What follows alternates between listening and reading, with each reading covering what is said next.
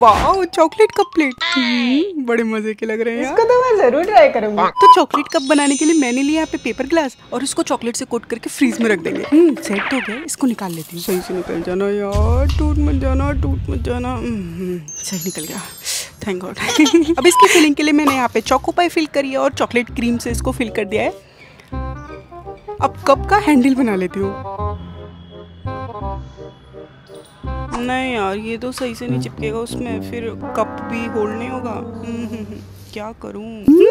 Idea. तो मैंने लिया पे डोनट मोल्ड और इसमें चॉकलेट डाल के इसको फ्रीज कर दिया।